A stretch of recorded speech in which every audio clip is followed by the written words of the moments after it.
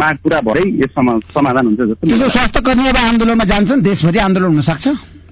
त्यो चाहिँ मैले भन्नु मिल्दैन किनभने त्यो हाम्रो नेपाल चिकित्सक सङ्घले निर्णय लिएर गर्ने कुरा हो तर व्यक्तिगत रूपमा भन्नु गर्दाखेरि चाहिँ त्यो अवस्था नआओस् त्यो गर्नु नपरोस् र अन्तिम अवस्थासम्म पनि यो यो सेवालाई अवरुद्ध नगरिकन गर्ने जुन दबाव हो त्यसले काम गरोस् र माग पुरा होस् भन्ने चाहिँ हाम्रो रणनीति हुन्छ थ्याङ्क यू सो मच जीवन छेत्रीजी समय दिनुभयो। नेपाली बसलाई तपाईँलाई म धेरै धेरै धन्यवाद दिन चाहन्छु।